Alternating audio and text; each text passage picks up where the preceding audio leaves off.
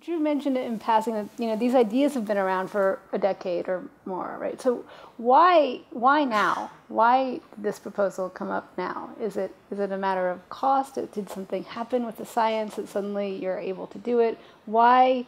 I mean, we have this um, this one project that I know of, and you can fill me in on others, but uh, to, to synthesize the yeast genome, which is maybe you can explain what the yeast genome is because it's, mm. it's, it's, it's much smaller or less complicated than a human genome, and that's as far as I understand we've gotten. So why now? Why are you? Why do you think this is the right time for this? Well, it's kind of like, you know, why did we start the Human Genome Read project in 1984, or the Brain Initiative, or the National Microbiome Initiative, and so forth? All these initiatives.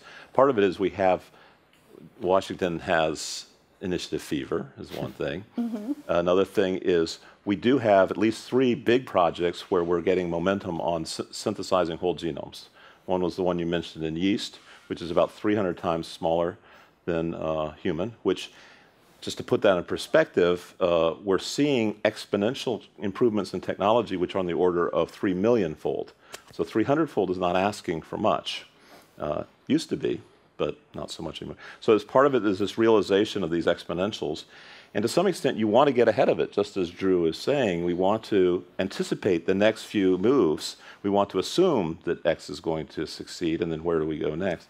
And so, if, if anything, we were taking too small a step.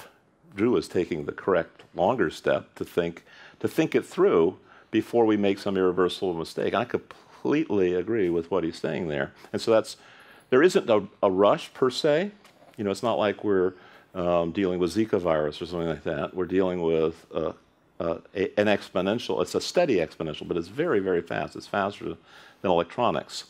So anyway, the three, pro- three projects are the yeast project and then uh, two bacterial projects, which are uh, a little bit smaller, but but all some of them are moving to fairly radical changes in, in the genome, not just making a copy of it. Okay.